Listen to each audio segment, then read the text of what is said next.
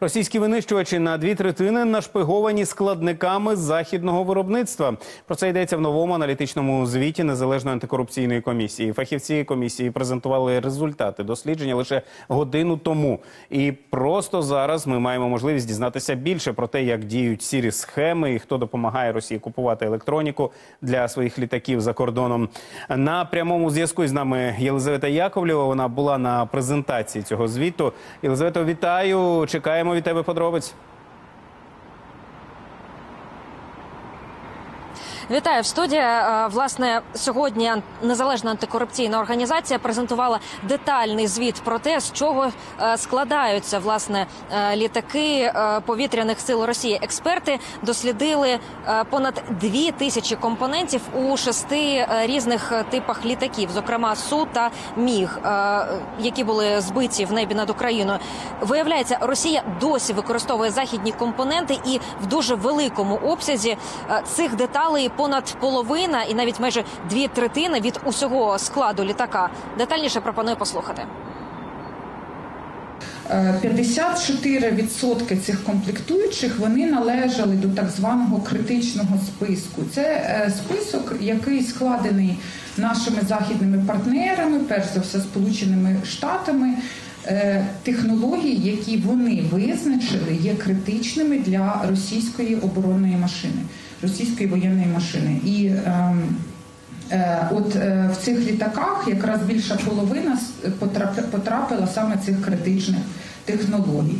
Це 18 різних заводів. Наступний слайд, так перепрошую, я не сказала.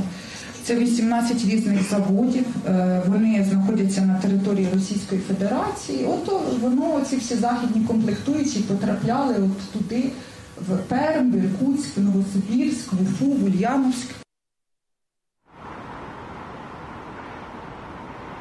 Отже, РФ усе ще обходить е, західні санкції і допомагають їй у цьому країни-посередники. Е, Найбільшими такими посередниками є е, Китай та Гонконг. А загальна сума, на яку Росія закупила такі комплектуючі, сягає 4 мільярдів доларів. І йдеться про постачання не лише власне деталей, а й сировини. Є вразлива частина російської війни це титанова сировина. Росія не видобуває її достатньо.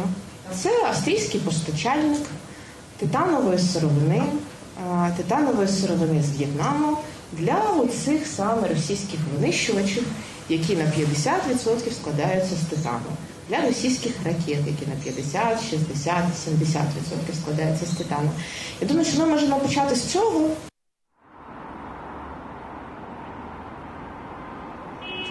І як повідомили в незалежній е, антикорупційній організації, після публікації звіту вже є е, перші результати. Точніше, раніше ці дані вже були передані е, до наших західних партнерів, і відомо, що принаймні проти однієї щодо однієї з таких компаній зі списку почалася перевірка. Але вочевидь, це лише початок. На цьому у мене все. Студія.